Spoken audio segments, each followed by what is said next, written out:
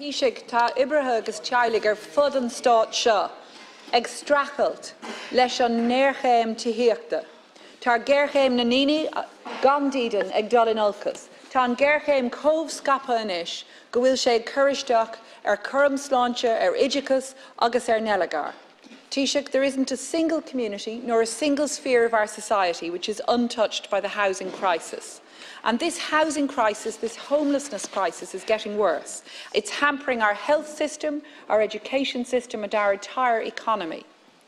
And yet, Taoiseach, the quality of debate surrounding the lifting of the temporary no-fault eviction ban was deeply frustrating. For months prior to its lifting, we in opposition had asked what your government would do to introduce emergency measures to protect renters from homelessness once the ban was lifted.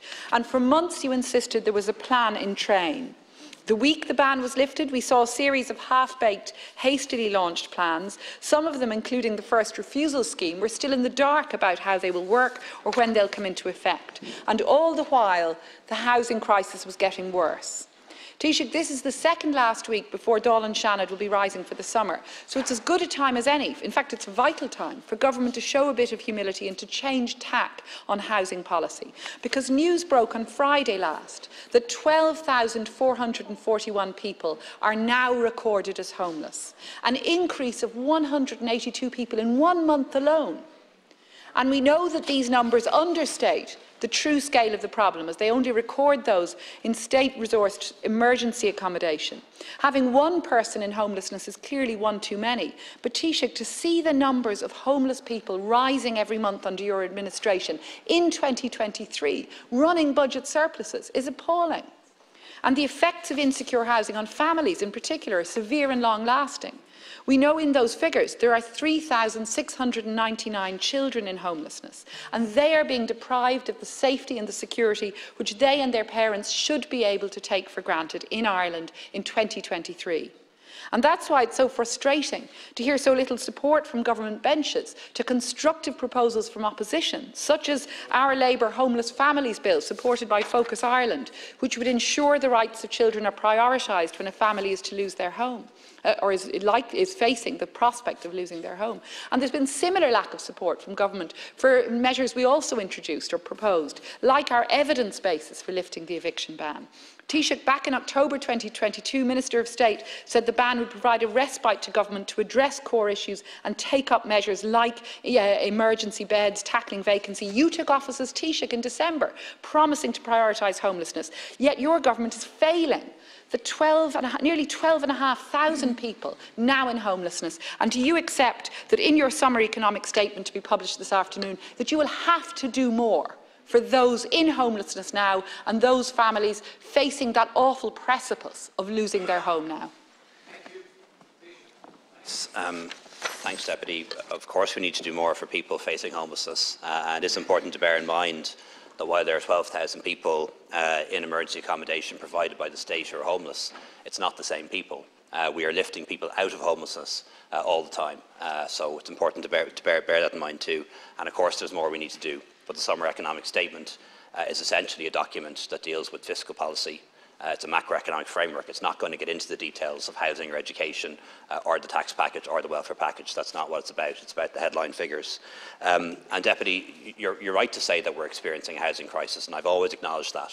Um, and that affects people in lots of different ways, whether it's high rents, uh, whether it's rising homelessness, uh, whether it's people uh, struggling to buy their first home but I don't think it's fair uh, not to acknowledge any of the progress that has been made in recent years, and it has been considerable.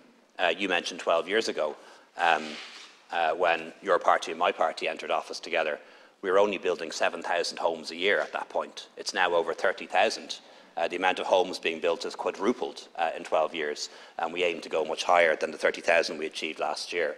Uh, house prices are now levelling off, have been falling in Dublin for the fast, past couple of months, and we're seeing some really encouraging signs around home ownership uh, in particular. In the month of May, record numbers of people uh, securing a mortgage for the first time. 5,000 new mortgage applications approved, uh, 3,000 of those for first-time buyers. And each week now we're seeing 400, 500 young people, individuals, couples buying their first home.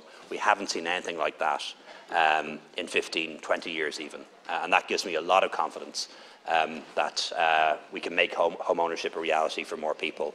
And that didn't happen by accident. It's because of government policies that increase supply, uh, like, for example, planning law reforms, like, for example, uh, waiving the development levies, uh, schemes like Help to Buy, which help people to get their deposit, schemes like First Home, which bridge the gap between uh, the mortgage you get and the property you want to buy. Huge interest in the grants uh, to do up derelict homes and vacant properties and bring them back into use. I think 500 applications alone uh, in the county of Cork, which is extraordinarily uh, encouraging. And of course, local authority home loans, uh, which people can use uh, to get a mortgage when the banks um, can't give them a mortgage. That's all significant progress. None of it happened by accident. Did happen because of government policies, many of them opposed by the opposition parties. And yes, we accept we need to do more. More on home ownership, more to bring rents down and to help renters, and of course more to reduce homelessness. Taoiseach, you've given me uh, indications of progress, but that's no answer to the 182 additional people in homelessness in the last month alone. And this has a real life effect on people. My office is in touch with a mother of three. She has a newborn baby. She's a HAP tenant in fear of eviction, sleeping on the couch in her rented apartment while her baby sleeps in his pram because they have no space and they are in fear of losing even the limited space they have. So your government's policies are not helping her and they're not helping renters. Yes, we have welcomed proposals from government that would genuinely increase supply. We supported the Land Development Agency. But we're asking you in government to take on board constructive measures we've proposed, like our Renters' Rights Bill, that would provide better security to renters like that mother of three and like the thousands of people who are increasing in number every month despite your government's policies and indeed in some cases because of them. And let me remind you, Taoiseach, that Minister of State Burke in October 2022 said the temporary ban would allow government the respite space to address core underlying, underlying issues driving homelessness levels by providing more emergency beds, tackling vacancy, vacancy, using modular homes and improving allocations and relettings to make the most of existing stock. Where are those measures now? And can you say that we won't see a further increase in next month's homeless figures? Taoiseach. Thanks, Deputy. We always consider uh, proposals that are uh, put to us by opposition parties uh, and indeed by NGOs and others working in the area of homelessness and of course those who build homes, the ho home builders. Um, for example, we accepted the proposal to introduce a rent credit uh, and that has helped a lot of people with their rent, 1,000 euros for a couple um, 1,500 we'll say for three people renting. Uh, we've also um, uh, accepted other proposals, for example, in, in relation to uh, derelict buildings uh, and other proposals in relation to tenant in situ. Uh, so we do listen to suggestions that people come, uh, put across. Um, but one thing I can say about the eviction ban is it does appear to me to be increasingly clear uh, that it wasn't a successful policy. Um, for nearly every month that we had the eviction ban in place, uh, we saw uh, an increase uh, in homelessness. Uh, last month, unfortunately, we saw a further increase in homelessness, but even with the eviction ban gone, that increase was 1.5%. Now, those are real people, that's 1.5% too many, but the prediction from those who advocated an eviction ban was that it would bring homelessness down. It didn't. And they predicted that once the eviction ban was lifted, that there would be, uh, to use the quote, an explosion in the numbers uh, using emergency accommodation. We have seen a further increase, very disappointing increase, but not far off the kind of rates we saw when the eviction ban was in place. Deputy Peter Fitzpatrick, please.